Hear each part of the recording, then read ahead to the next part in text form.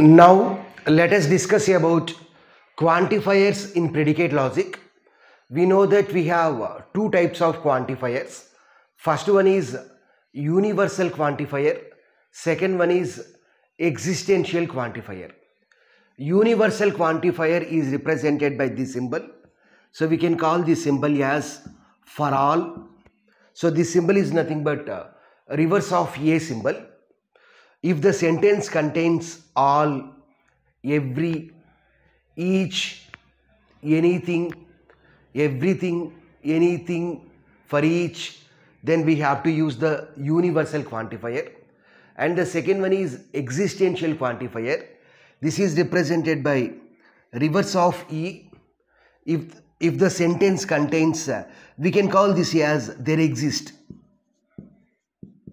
So if the sentence contains there exist some few, there exist some, there is at least, then we have to use the existential quantifier. So the symbol is for all symbol, all, whereas the symbol is there exist. It means some, some. So this is for all and this is some. Now our target is we have to represent these four examples, uh, represent the sentences or statements in the symbolic form. So with the help of the symbols, we have to represent these four uh, statements or sentences, these four examples. Let's see the first example. So here we have four sentences are there. So now we have to represent these four sentences in the symbolic form. If we observe the first sentence, all men are good. Second sentence, no men are good. Third one, some men are good. Fourth one, some men are not good.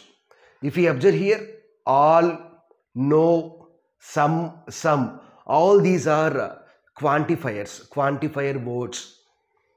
Next we have men. So we need to observe the predicates. So here men is the predicate and good is the predicate. So first let us uh, represent the predicate with the help of preposition or statement function.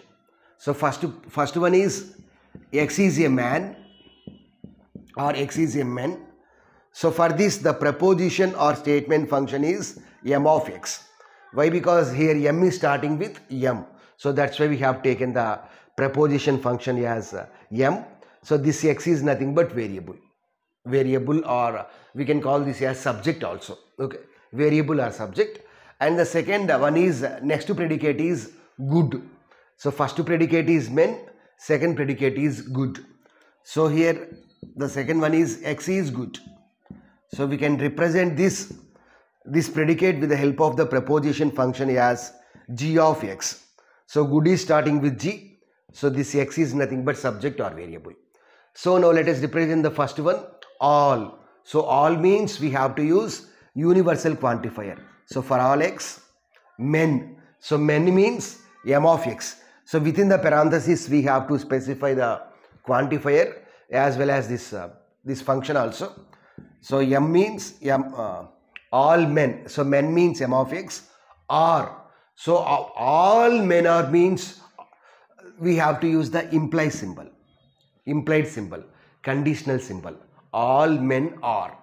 So good means the preposition function is g. So g of x. So in this way we can represent. Let us observe the second one. No men are good. So no men are good. We can write that sentence as all men are not good. So no men are good means we can write this sentence as all men are not good. So all means we have to use the universal quantifier. So for all x. So many means m of x. So here also we have r. r means uh, implied conditional symbol. Not good. So good means g of x. So not good means we have to use negation g of x. Negation g of x. Next third one, some men are good. So some means we have to use their existential. Next men means m of x. Here are, but here which quantifier we use is existential quantifier. Let we have 10 people.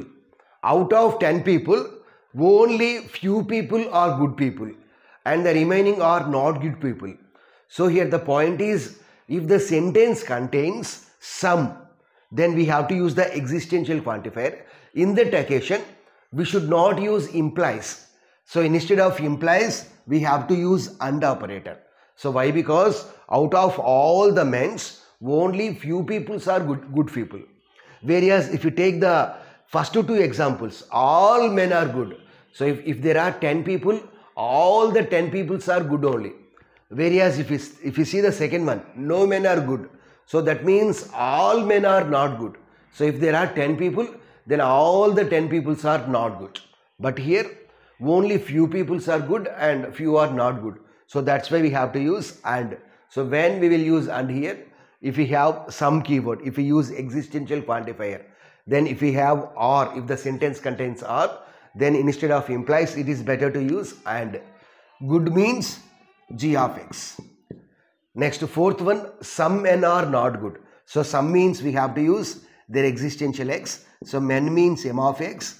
So here we have r but some keyword. So some means we have to use and and not good means negation g of x so in this way we can represent in the symbolic form now let us see the second example so what is the second example?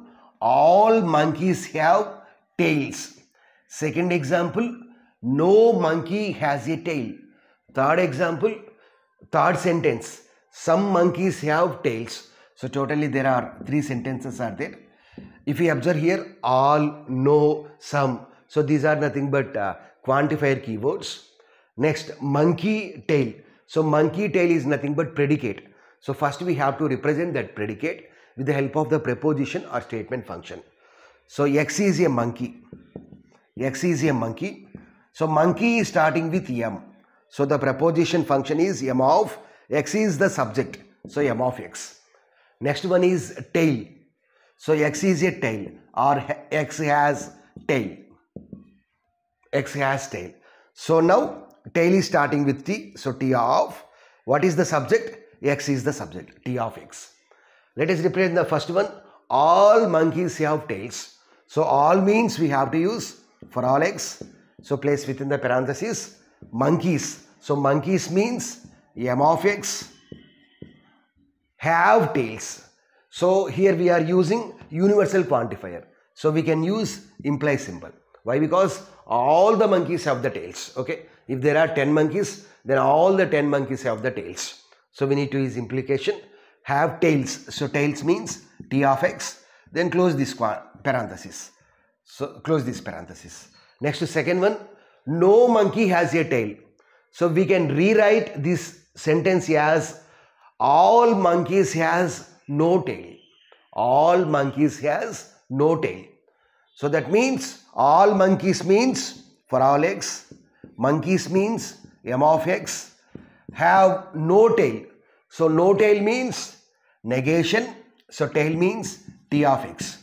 So we can rewrite this sentence as all monkeys have no tail.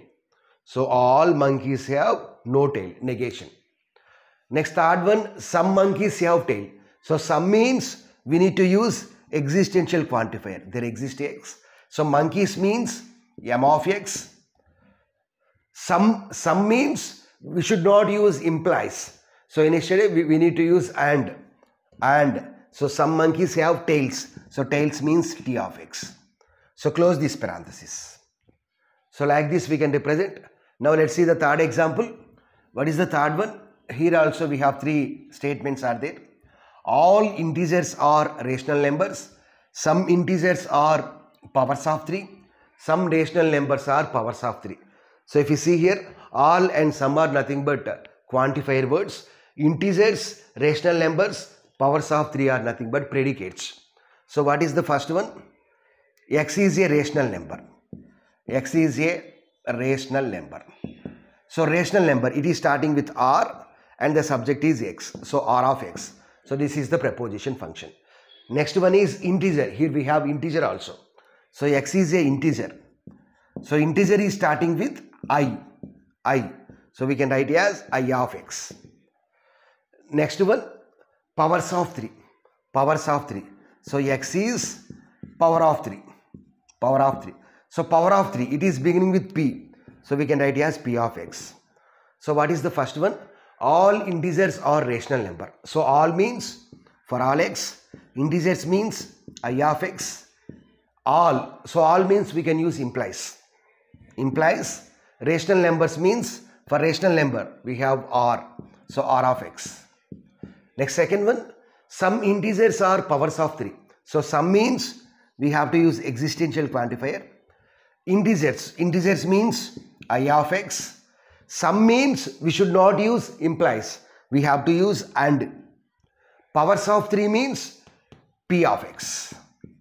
p of x. So third one, some rational numbers are. So some means their existential quantifier. Rational numbers means r of x and powers of 3 means p of x. So like this we can represent. Now let's see the fourth example. What is the fourth example?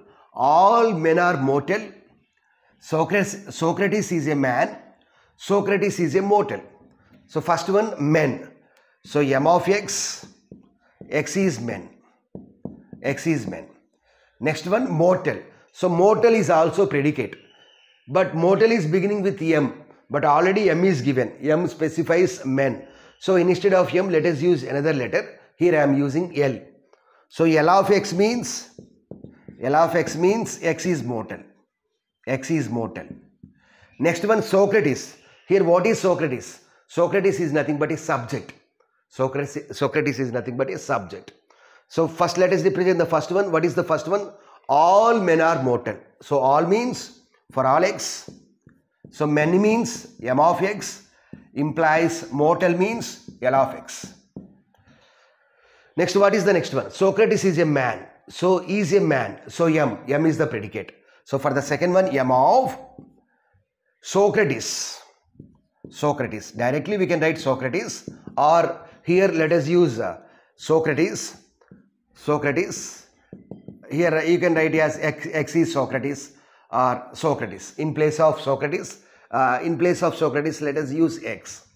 X, yes, S stands for Socrates. Or directly also we can write M of Socrates. And what is the next one? Socrates is a mortal. So here the predicate is mortal. So M of Socrates or in place of Socrates, uh, define this function, proposition or statement function. Yes, S means Socrates. Okay. So like this also we can represent or in place of Socrates you can write S. S means Socrates. So in this way we can represent any sentence very very easily in uh, symbolic form with the help of the quantifiers in predicate logic topic.